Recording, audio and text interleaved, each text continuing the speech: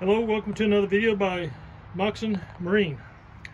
In this video, I'm going to be removing a 5.0 liter um, multi-port fuel injection engine. It's similar to one I've done already. Uh, doesn't look like it's got the single point drain system. Not sure about that. Um, actually, I don't think it does because it this got this right here, but um, that's beside the point. So I'm getting pre uh, prepared to pull the engine out. The, the problem with this engine is it has a hole in the oil pan, and the only way it fixes is to pull the motor out and uh, replace the oil pan. So um, as it was brought to me, the uh, starboard exhaust manifold was already removed. The port manifold is still there.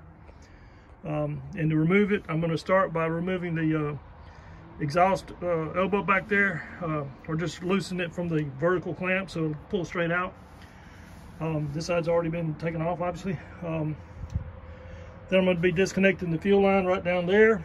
I've got to take these two, uh, actually these might just unplug and can be pushed to the side. That's, like it might do that, so I'll just do that there.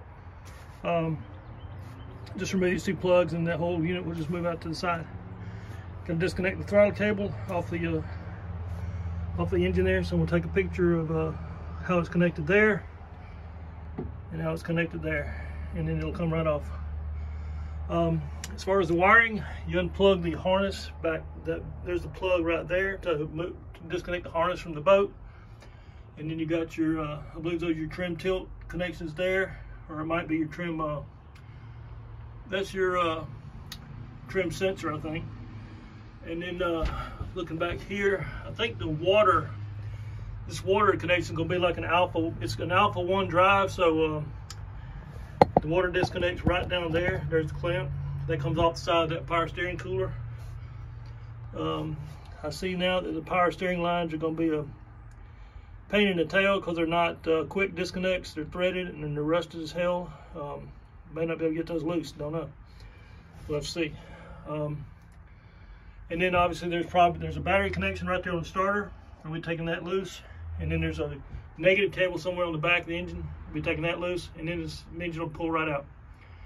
So I'm gonna get started. First we'll do the throttle cable, then loosen the exhaust, the fuel, and go from there.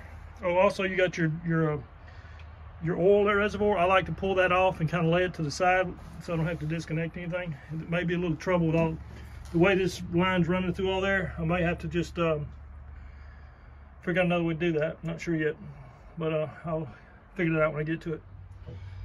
In case I didn't get a clear picture before, the wire that says analog trim is going to this trim sensor wire, and the other one was this black wire with the male butt was going to the other side there.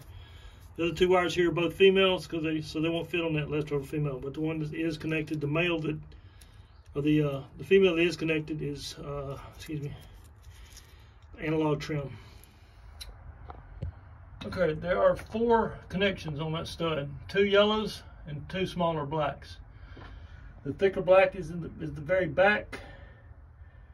The I think the thicker yellow is next.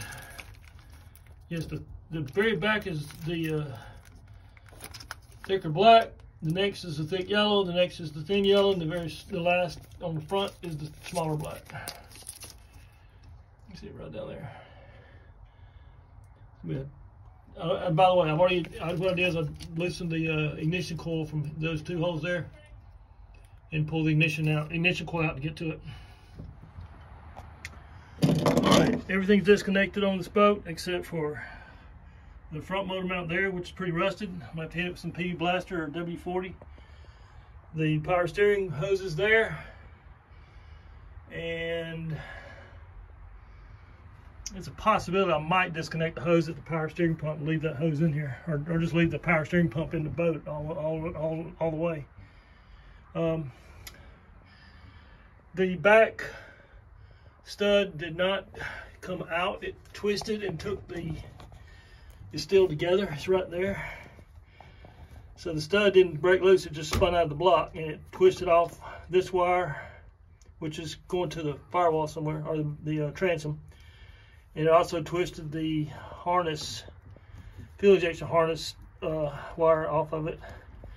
I'll just splice a new connector on that and uh, solder that up.